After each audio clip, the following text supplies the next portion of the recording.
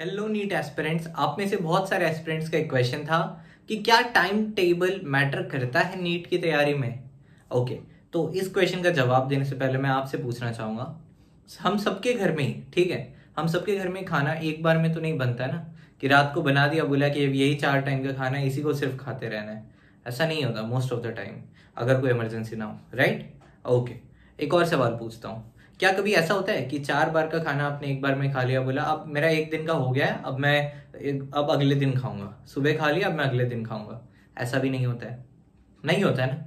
मतलब हम क्या करते हैं, एक रूटीन फॉलो करते हैं कि हाँ भाई मतलब तीन टाइम खाना खाना है टाइमिंग थोड़ा इधर उधर हो जाए, चलेगा।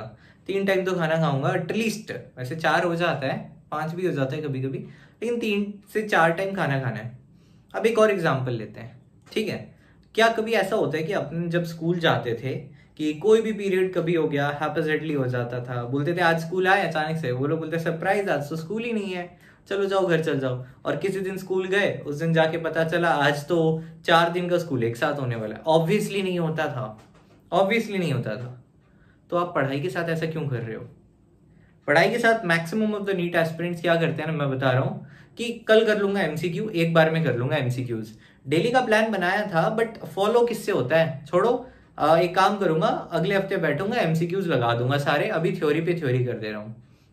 And that is a mistake यही तो मिस्टेक है ना, कि अपन क्या कर रहे हैं, सही डायरेक्शन में नहीं जा रहे हैं। क्योंकि टाइम टेबल ही फॉलो नहीं करते ना, सही से, एक पर्टिकुलर रूटीन ही नहीं बना है। पर्टिकुलर रूटीन बनेगा, तब तो उसे फॉलो करेंगे।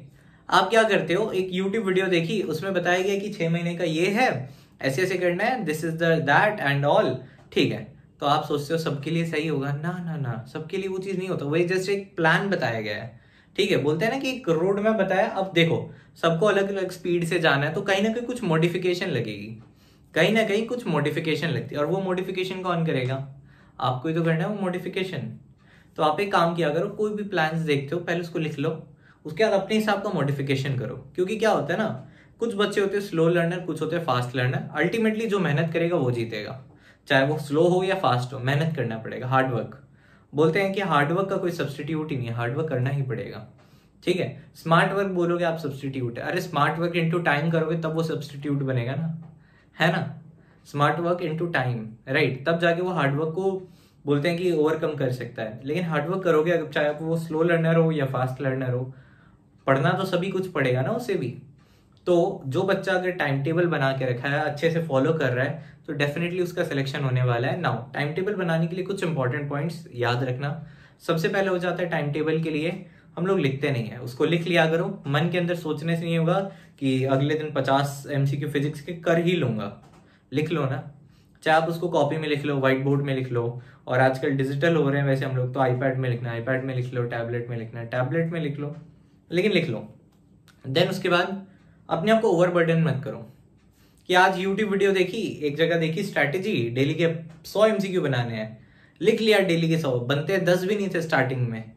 तो कहीं आपको क्या करना है? लोड को ग्रेजुअली बढ़ाना है। एक बार में नहीं। तो क्या होता है अगर अपन एक बार में बढ़ा देते हैं ना, फिर मन ही नहीं करता करने का। देखा कि पहले दिन ही ये टाइम टेबल तो फॉलो ही नहीं हुआ, छोड़ो, ये टाइम टेबल ही घटिया है। उठा के फेंक देते हैं। तो क्या होता है, ऐसे हम लोग एक्सपेरिमेंट करते रहते हैं। यार, अपने ऊपर एक्सपेरिमेंट क्यों कर रहे हो? सिलेक्शन चाहिए। तो सही तरीके से जाओ ना सही तरीके से जाओ। आप जब तक एक्सपेरिमेंट करते रह जाओगे, तब तक देखोगे अगले साल का नीट खड़ा है आपके सामने, बोल रहा है excuse me I am here जल्दी आ जाओ। लास्ट थर्टी डे का स्ट्रैटेजी का वीडियो देखो और सिलेक्शन की तैयारी वापस से करो।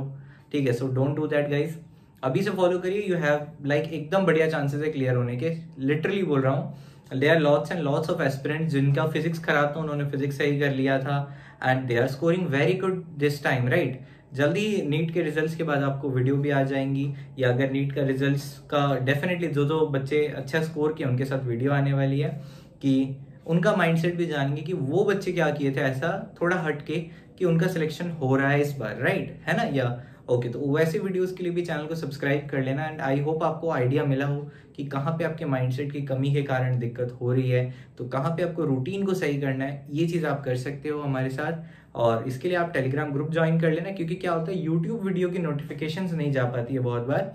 तो अगर आप टेलीग्राम पे रहोगे तो मैं कोई यूट्यूब की वीडियो डालता हूँ टेलीग्राम पे लिंक डाल देता हूँ। ठीक है along with that there some other perks also मैंने कोई P D F and all वहाँ पे मैं अपलोड कर देता हूँ टेलीग्राम चैनल पे तो नीचे लिंक दी गई है ज्वाइन कर लेना। Thank you so much